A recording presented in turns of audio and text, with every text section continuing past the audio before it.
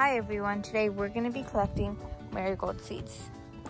To collect marigold seeds, we look around and we look at the flowers. There are nice flowers like this, but what we want is a nice dried flower, like this one over here, so that we can collect the seeds. Just pluck it off, uh, off the stem, like you can see I had done on this one. So basically just pluck it off. You can see the dried flower over here. Basically now what I do to get out the seeds is I first take out all of these petals. So just take them right off. They'll come right off because they're nice and dried. Take out all the dried petals from this part of the flower. That way I only have the bottom part, like the pod, in which all the seeds are stored. You might notice that in some of these petals, there's like a white and black part on the bottom. So if that happens, then we can basically just take it apart to get the seed part. The seed part is basically this black and white part. So that's the seed over there.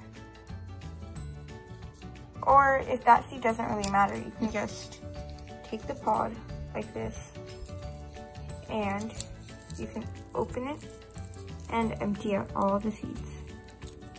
You'll, you can see that black, those black and white things. Those are the seeds.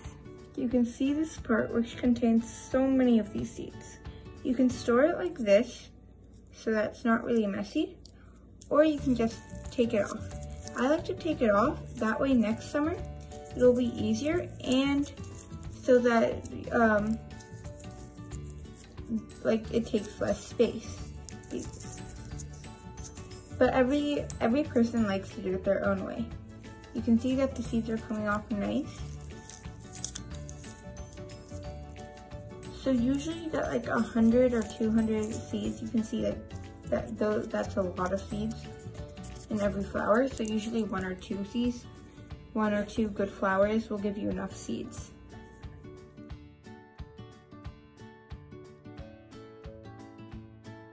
Once you have collected the amount of seeds that you would like, store them in an airtight pouch. That way you can use them next spring to get more marigold flowers. I hope you liked this video on how to store marigold seeds. Please like this video and don't forget to subscribe to our channel. Keep watching and thank you.